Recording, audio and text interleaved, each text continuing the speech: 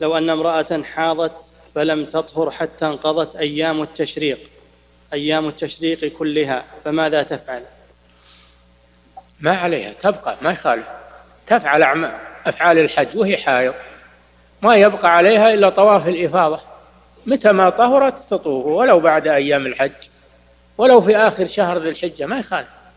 لأن طواف الإفاضة ليس لآخره حد. طواف الإفاضة ليس لآخره حد. نعم.